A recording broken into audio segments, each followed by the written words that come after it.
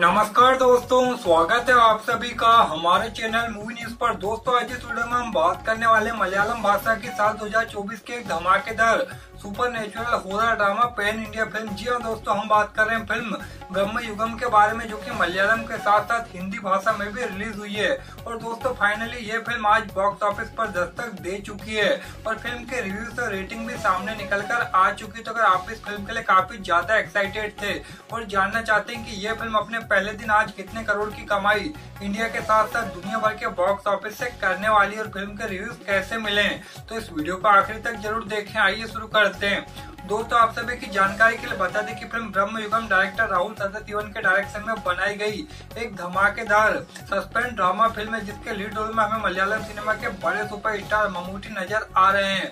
आइए दोस्तों, बात करते हैं फ़िल्म के रिव्यूज़ के बारे में। तो दोस्तों, फ़िल्म को ऑडियंस की तरफ़ से काफ़ी शानदार रिव्यूज़ मिल चुके हैं। जी हाँ दोस्तों ऑडियंस को ये फ़िल्म काफ़ी ज़्यादा पसंद आ रही है और ममूटी के फैंस के लिए ये फ़िल्म काफ़ी बड़ा गिफ्ट होने वाली जी हाँ दोस्तों, जिस तरीके से फ़िल्म को बनाया गया, ये फ़िल्म हमें एक एक अलग ही जोनर पे लेकर जा रही है।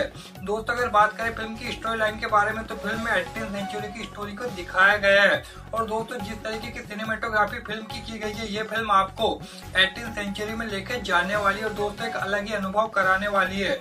दोस्तों फ़िल्म की सबसे मेन बात होने वाली फ़िल्म की परफॉर्मेंस जी हाँ दोस्तों फ़िल्म के लीड एक्टर ममूटी, इनकी पावरफुल परफॉर्मेंस ऑडियंस को काफ़ी ज़्यादा पसंद आ रही है।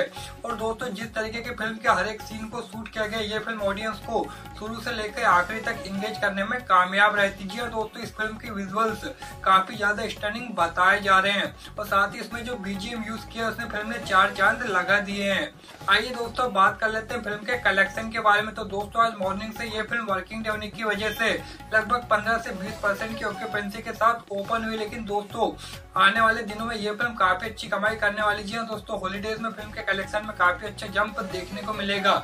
लेकिन आज वर्किंग डे होने के बावजूद भी ये फ़िल्म लगभग तीन करोड़ की कमाई इंडियन नेट बॉक्स ऑफ़िस से करने वाली और दुनिया भर के बॉक्स ऑफ़िस से फ़िल्म का आज का कलेक्शन लगभग पाँच करोड़ का आने वाला है, जो कि इस फ़िल्म के बजट के हिसाब से ठीक ठाक है। जी हाँ दोस्तों, फ़िल्म का बजट लगभग तीस करोड़ के आसपास बताया जा रहा है और आने वाले तीन से चार दिनों में ये फ़िल्म काफ़ी शानदार कमाई करते हुए अपना बजट निकाल लेगी।